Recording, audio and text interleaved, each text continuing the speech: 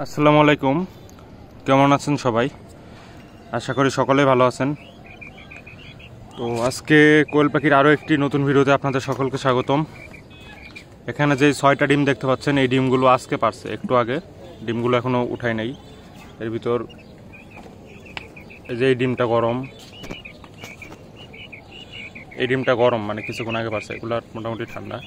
তো যারা নতুন ডিম পারলে ডিমটা গরম থাকে মানে প্রথম অবস্থায়। যারা জানেন, জানেনি। আর মূলত আজকের ভিডিওটা যে অনেকে আমাকে কমেন্ট করতেছেন, ভাই, পাখি ডিম পারে না, কি খাবার খাওয়াবে? আমি যদিও প্রত্যেকটা ভিডিওতে বলি যে ডিম পাড়ার আগে পর্যন্ত সোনালি স্টার্টার ফিটটা আপনারা খাওয়াবেন। কিন্তু আপনারা কি ভুল করেন? ডিম পাড়া পাখিকে লেয়ার লেয়ার লেয়ার ওয়ান খাবার খাওয়াইতে হয়, তাই আপনারা লেয়ার লেয়ার ওয়ান খাবার দিয়ে দেন। কিন্তু ভাই, ওটা ডিম পাড়া শুরু করার পরে দিবেন, আগে না। ডিম পাড়া শুরু করার আগে দিলে সমস্যা আছে। ডিম পারবে না হয়তো বা ডিম পারলেও একটা দুটা পেরে অফ করে দিবে, এরকম অনেক ঝামেলা হবে। তো আপনারা আগে ডিম পাড়ার আগে পর্যন্ত সোনালি স্টার্টার ফিটটা খাওয়াবেন।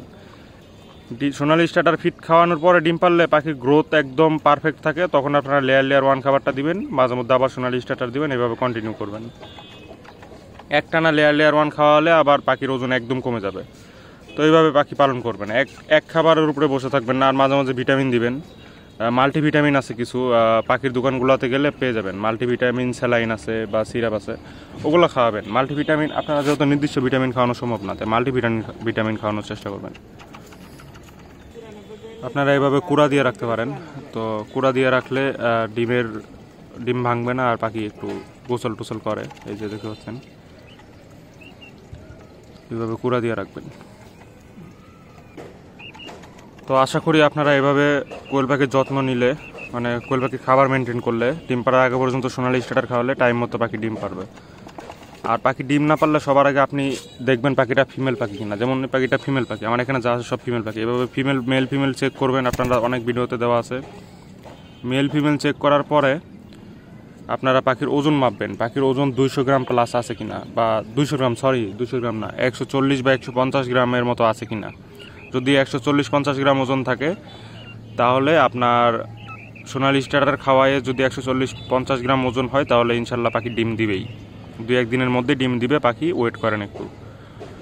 আর যদি একশো পঞ্চাশ গ্রাম প্লাস ওজন, তারপরও পাখি ডিম দেয় না, তাহলে নিশ্চিত ভাই আপনার পাখিটা ফিমেল পাখি, ইয়া মেল পাখি। মেল পাখি কিন্তু ডিম দিবে না, পুরুষ পাখি।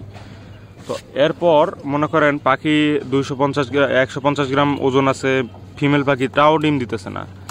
তাহলে কি করবেন? ই সেল নামের একটা সিরাপ আছে, নব্বই টাকা দাম নিবে। ই সেল পশু পাখির যে ওষুধ পাওয়া যায়, ওইসব দোকানে গিয়ে বললেই হবে। ই সেল সিরাপটা খাওয়াবেন।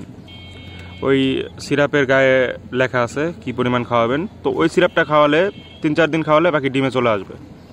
এরপরও যদি ভাই ডিম না আসে, ওই পাখি আর পালার প্রয়োজন নাই। আমি যে ট্রিক্সগুলো বললাম, এগুলো পঞ্চাশ থেকে ষাট দিন বয়স হওয়ার পরে, পঞ্চাশ ষাট দিন বয়স হওয়ার পরে একশো পঞ্চাশ গ্রাম প্লাস ওজন ফিমেল পাখি, তাও ডিম পারতেছে না, ওষুধ খাওয়াইলেন ইসেল তাও ডিম পারতেছে না, তখন ওই পাখিগুলো আর পালার প্রয়োজন নাই, কারণ ওগুলো আর তাহলে জীবনে ডিমও পারবে না, আমার মনে হয়।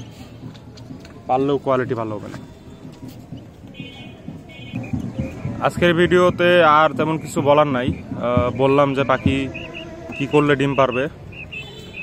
আর কারও কিছু জানার থাকলে অবশ্যই বলবেন। আর অনেকে আমাকে পাখির জন্য মেসেজ দিতেছেন, আসলে ভাই আমার কাছে এখন পাখি নাই। আমি এখন পাখির বাচ্চা ফুটাইতেছি না ইনকিউবেটর দিয়ে।